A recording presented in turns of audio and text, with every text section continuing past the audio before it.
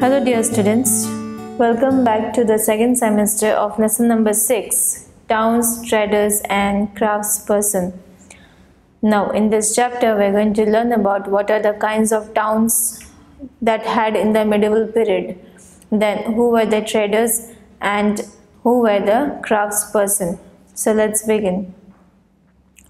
What would a traveler visiting a medieval town expect to find? This would depend on what kind of a town it was a temple town, an administrative center, a commercial town, or a port town, to name just some possibilities. In fact, many towns combined several functions. They were administrative centers, temple towns, as well as centers of commercial activities and crafts production. So now Administrative center. Before administrative center, let us see on map 1 some important centers of trade and artisanal productions in central and south India. Central India, Ahmedabad, Vrindavan, Ajmer, Murshidabad, Kolkata, then Somnath in South India, it was Kamalapuram, then Svamimalai, Kanchipuram, Tiruva, Tiruvanmalai, Madurai, all these were the artisan productions and center of the trade. Now administrative centers. You read about Chola dynasty in chapter 2. Let's travel in our imagination to Thanjavur, the capital of the Cholas, as it was a thousand years ago. The perennial river Kaveri flows near this beautiful town. One hears the bells of the Rajarajeshvara temple built by King Raja Raja Raja Chola. The town's people are all praised for its architect Kun, Kunjaramallan. Raja Raja praised for it. Raja Raja Perunthachchan, who, who has proudly uh, curved his name on the temple wall. Inside is a massive Shiva Linga. So, Thanjavur, the capital of Cholas, a thousand years ago emerged as an administrative center as well as a temple town. As Thanjavur was an administrative center, kings held courts in, uh, in the mandaps, which was parts of palaces issuing orders to their subordinates.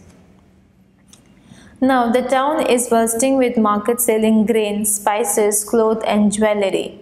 Water supply for the town comes from wells and tanks.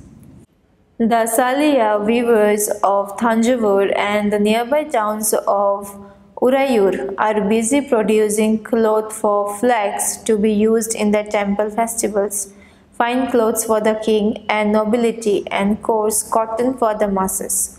Some distance away at Svamimalai, the sthapatis or sculptures are making exquisite bronze idols and tall ornamental bell temple lamps. So temple towns represents a very important pattern of not temple towns but the towns in the market they represents a very important uh, pattern of urbanization, the process by which cities develop. Then rulers also they build temples to demonstrate their devotions to various deities. Now deities means the god or the goddess whom we worship. Now temple towns and pilgrimage centers. Thanjavur is also an example of a temple town. Temple towns represents a very important patterns of urbanization, the process by which cities develop. Temples were often central to the economic and society. Rulers built temples to demonstrate their devotions to various deities. They also endowed temples with grants of land and money to carry out elaborate rituals, feed pilgrim, pilgrims and priests, and celebrate festivals. Pilgrims who flocked to the temples also made donations. Now, important temple towns, the temple authorities used their wealth to finance trade and business, banking. Gradually, a large number of priests, workers, artisans, traders, etc., settled near the temple to cater to their needs and those of the pilgrims. Thus grew temple towns. Towns emerged around temples such as those of Vilasvamin, Vilasa or Vidisha in Madhya Pradesh and Somnath in Gujarat. Other important temple towns included Kanchipuram and Madurai in Tamil Nadu and Tirupati in Andhra Pradesh.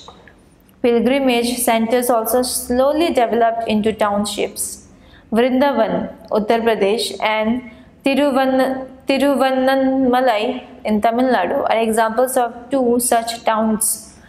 Ajmer in Rajasthan was the capital of the Chauhan king in the 12th century and later became the Subha headquarters under the Mughals.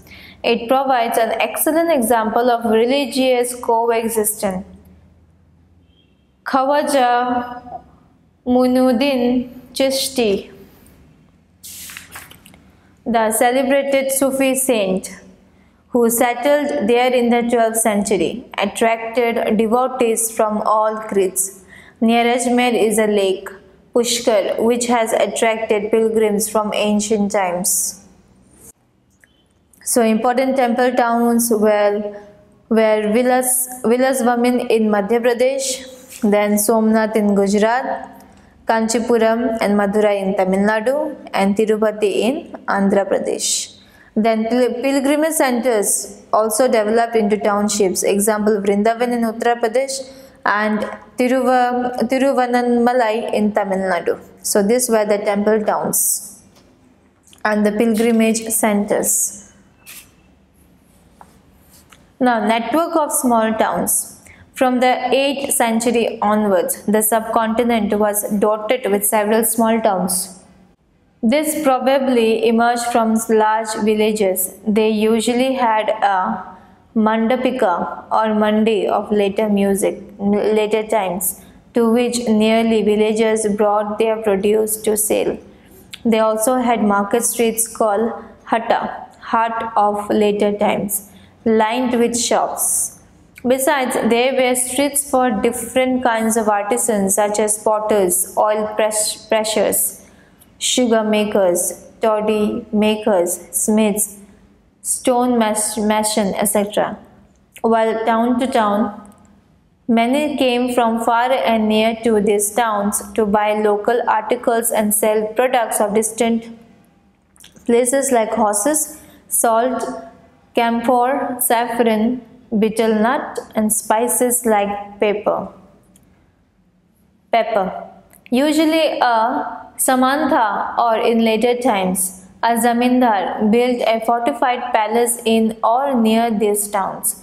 They levied taxes on traders, artisans and articles of trade and sometimes donated the right to collect these taxes to local temples, which had been built by themselves or by rich merchants. These rights were recorded in inscriptions that has been survived to these days. Small towns emerged from large villages.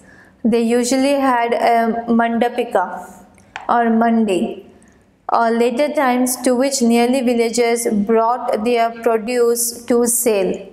Then different kinds of artisans such as potters, oil pressers, sugar makers, toddy makers, smiths and etc. also lived in this town then the zamindar what they did they collected taxes from all these traders artisans and uh, the articles of trade who comes to produce or say, uh, sell their uh, products then they sometimes and sometimes also these zamindars what they did they donated to the uh, local temples out of the taxes they had they used to collect from the uh, different uh, traders and artisans. Then these rites were recorded in inscriptions that have survived to this day. Now, taxes on markets. The following is a summary from a 10th century inscription from Rajasthan, which lists the dues that were to be collected by temple authorities. There were taxes in kind of sugar and jaggery, dyes, thread and cotton, on coconuts, salt, areca nuts, butter, sesame oil, on cloth, Besides, there were taxes on traders, on those who sold metal goods, on distillers, on oil, on cattle fodder, and on loads of grain. Some of these taxes were collected in kind, while others were collected in cash. Now, this were the taxes where, where the zamindars used to uh, ask, like the products, these were the products like sugar and jaggery, dyes, thread, cotton cloth, coconut, salt, then nuts, butter, sesame oil. Then sometimes the zamindars or the samanta, they used to collect the taxes in cash or they used to tell them to give their say uh, to give their uh, produce means their products now traders big and small there were many kinds of traders. This included the Banjaras. The, who are the Banjaras? The Banjaras are the ones who moves from one place to another. Several traders, especially horse traders, formed association with headmen who negotiated on their behalf with warriors who brought horses.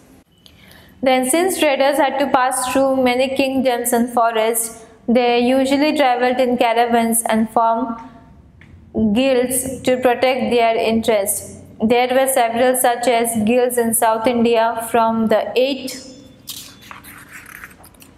century onwards. The most famous being the Mani, Manigramam and Nanadesi. These guilds trade extensively both within the peninsula and with Southern, Southeast Asia and China. There were also communities like the, Chet, the and the Marwari Oswal, who went on to become the principal trading groups of the country. Gujarati traders, including the communities of Hindu, Baniyas and Muslim Bohras, trade extensively with the ports of the Red Sea, Persian Gulf, East Africa, Southeast Asia and China. They sold textiles and spices in these ports and in exchange brought gold and ivory from Africa and spices, tin, China, Chinese blue pottery and silver from Southeast Asia and China. The towns on the west coast were home to Arab Persian, Chinese, Jewish and Syrian Christian traders, Indian spices and cloth sold in the Red Sea ports were purchased by Italian traders and eventually reached European markets fetching very high profits.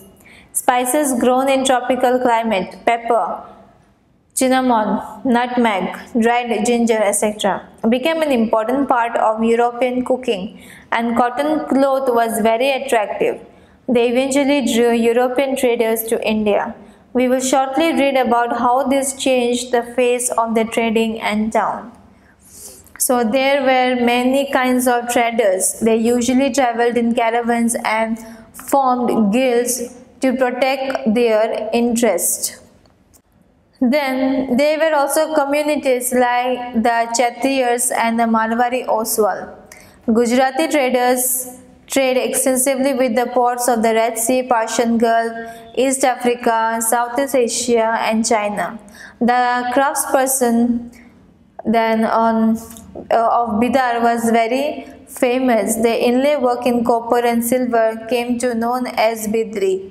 Now, crafts in town. The craftsperson of Bidar were so famed for their inlay work in copper and silver that it came to be called Bidri. The Panchalas or Vishwakarma community consisting of goldsmith, bronzesmith, blacksmith, mason and carpenters were essential to the buildings of temple.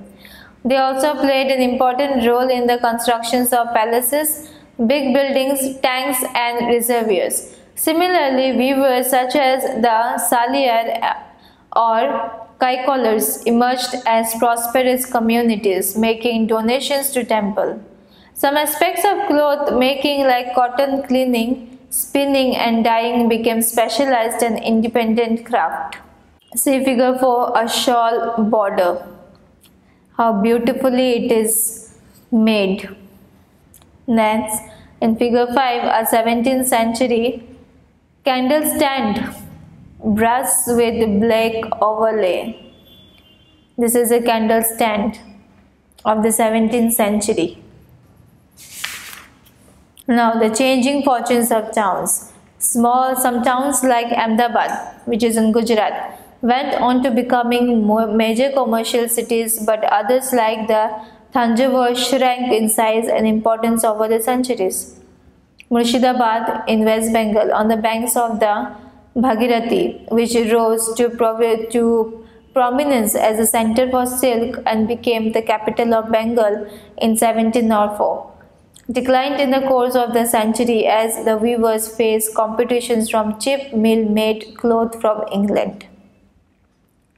Now a closer look, Hampi, Masulipatnam and Surat. The architectural splendor of Hampi Hampi is located in the Krishna Tungabhadra basin, which formed in the nucleus of the Vijayanagara Empire, founded in 1336. The magnificent, the magnificent ruins at Hampi revealed a well-fortified city. No mortar or cementing agent was used in the constructions of these walls and the technique followed was to wedge them together by interlocking. The architecture of Hampi was distinctive. The buildings in the royal complex had splendid arches, domes and pillared halls with niches for holding sculptures. They also had well-planned orchards, orchards and pleasure gardens with sculptural motif, motifs such as the lotus and the corbels. In its heyday in the 15th 16th century, Hampi bustled with commercial and cultural activities. Moors, a name used collectively for Muslim merchants, Chettis, and agents of European traders such as the Portuguese, thronged the markets of Hampi. Temples were the hub of cultural activities and Devadasi, temple dances, performed before the deity, royalty and masses in the many pillared halls in the Virupa, Virupaksha, a form of Shiva. Temple, the, Mahanavi, the Mahanavami festival, known today is Navratri, in the south was most of the more important festival celebrated at Hampi. Archaeologists have found the Mahanavami platform where the king received guests and accepted tribute from subordinate chiefs. From here, he also watched dance and music performance as well as wrestling bouts. Hampi fell into ruin following the defeat of Vijayanagara in 1565 by the Deccani Sultans, the rulers of Golconda, Vijaypur, Ahmednagar, Berar and Bidar. So Hampi was the capital of Vijayanagar, Vijayanagara Empire. The architecture of Hampi was distinctive it bustled with commercial and cultural activities during the 15th to 16th century. Then Hampi fell into ruin following the defeat of Vijayanagara in 1565 by the Deccani Sultans. Next, a gateway to the west, Surat. Surat in Gujarat was emporium of western Western trade during the Mughal period along with Cambay, present-day Khambhat, and somewhat later. Ahmedabad Surat was the gateway for trade with West Asia via the Gulf of Ormuz. Surat has also been called the gate to Mecca because many pilgrim ships set, set sail from here. The city was cosmopolitan and people of all castes and creeds lived there. In the 17th century, the Portuguese, Dutch, and English had their factories and warehouses at Surat. According to the English Chronicle, Ovington, who wrote an account of the port in 1689, on average, a hundred ships of different countries could be found anchored at the port at any given time. There were also several retail and wholesale shops selling cotton textiles. The textiles of Surat was famous for their gold lace borders, zari, and had a market in West Asia. Africa and Europe. In West Asia, Africa, and Europe, the state built numerous rest houses to take care of the needs of people from all over the world who came to the city. There were magnificent buildings and innumerable pleasures park. The Kathiawad Seths or Mahajans money changers had huge banking houses at Surat. It is not worthy that the Surat Hundis. Now what is Hundi? It is a note recording, recording a deposit made by a person. The amount deposit can be claimed in another place by presenting the record of the deposit. Were honored in the fear of in the far off markets of Cairo in Egypt, Basra in Iraq, and Antwerp in Belgium. However, Surat began to decline towards the end of the 17th century.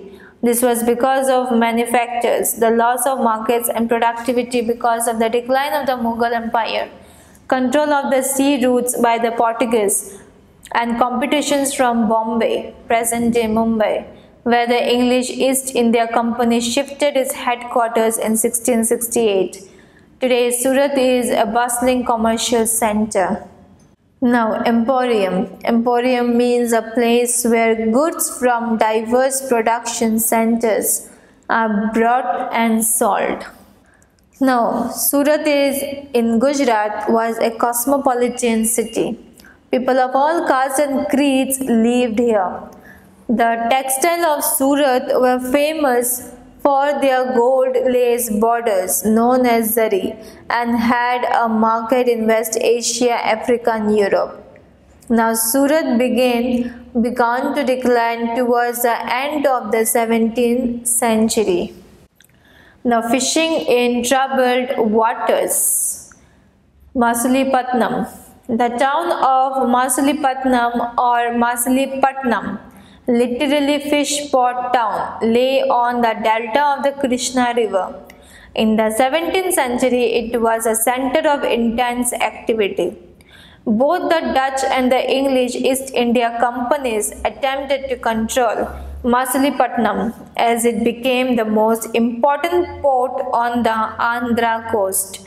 The fort at Masulipatnam was built by the Dutch a poor fisher town.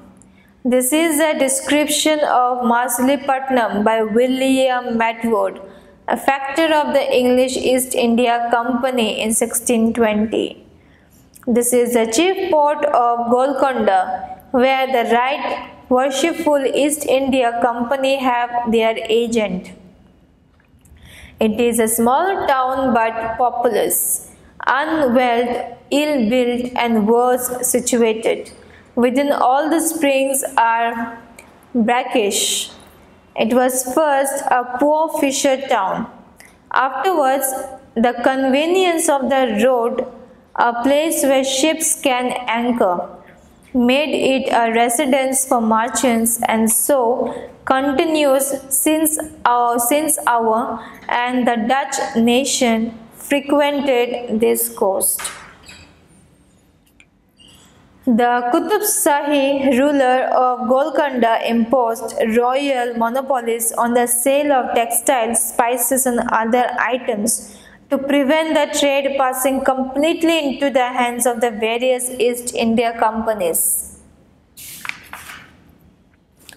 Fierce competitions among various trading groups, the Golconda nobles, Persian merchants, Telugu, Com Telugu Komati, Chettis and European traders made the city populous and prosperous.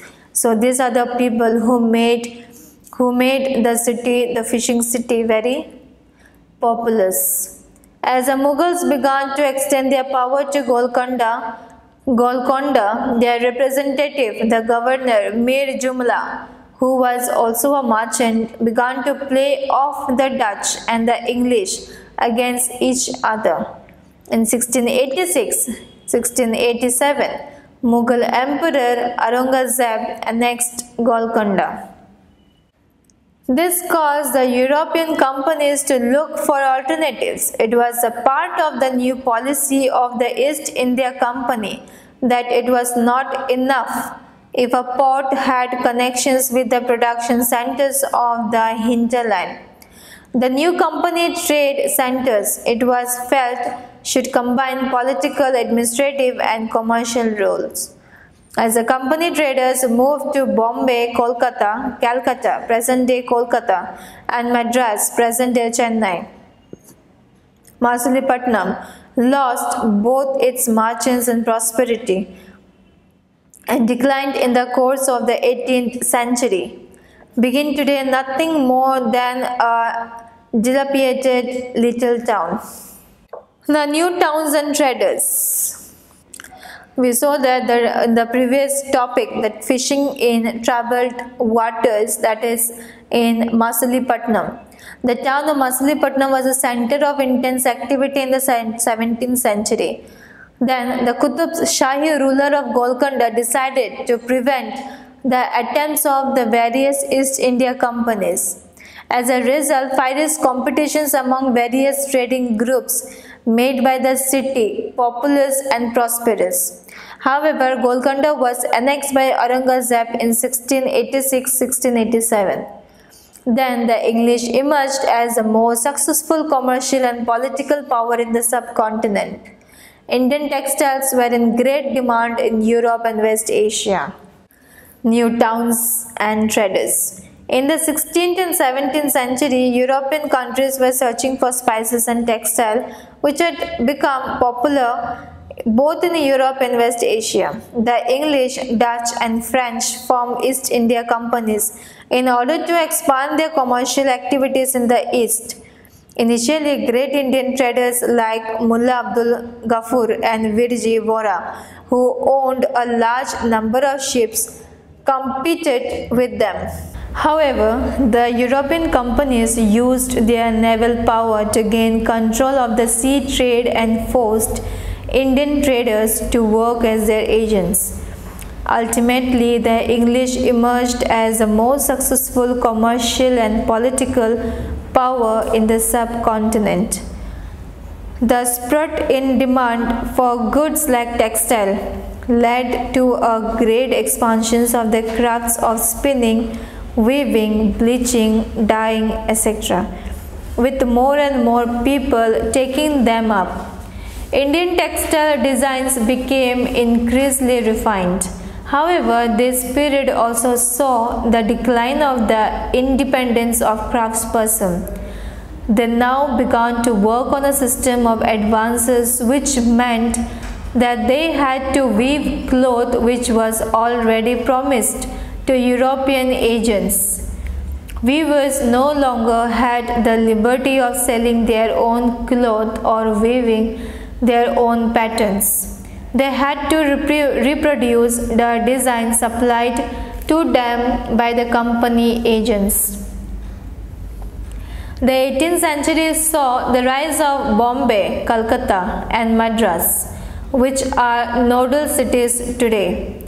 Crafts and commerce underwent major changes as merchants and artisans were moved into the black towns established by the European companies within these new cities.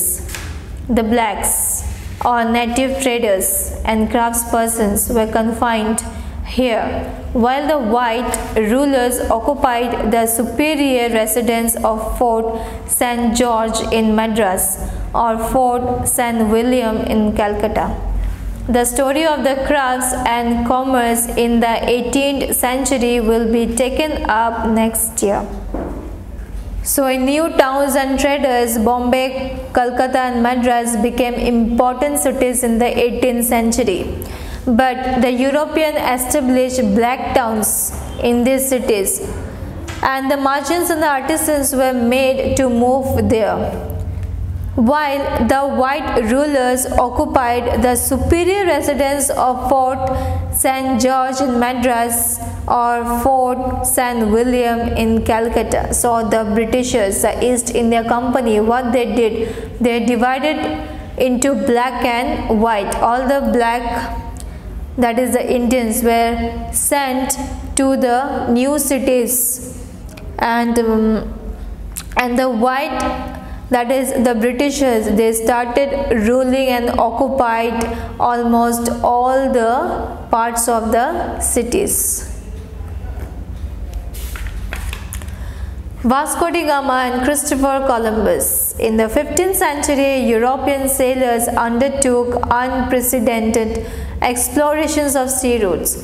They were driven by the desire to find ways of reaching the Indian subcontinent and obtaining spices. Vasco da Gama, a Portuguese sailor, sailed down the African coast, went round the Cape of Good Hope and crossed over to the Indian Ocean. His first journey took more than a year. He reached Calicut in 1498 and returned to Lisbon, the capital of Portugal. The following year, he lost two of his four ships and the 170 men at the start of the journey. Only 54 survived. In spite of the obvious hazards, the routes that were opened up proved to be extremely profitable and he was followed by English, Dutch and French sailors. The search for sea routes to India had another unexpected fallout. On the assumptions that the earth was round, Christopher Columbus, an Italian, decided to sail westwards across the Atlantic Ocean to find a route to India. He landed in the West Indies, which got their name because of his confusion in 1492. He was followed by sailors and conquerors from Spain and Portugal who occupied large part of Central and South America, often destroying earlier settlements in the area. So this is a picture of Vasco da Gama. Now this is the end of the chapter. Next time I will meet you with a new topic. Till then students take care of yourself and thank you so much.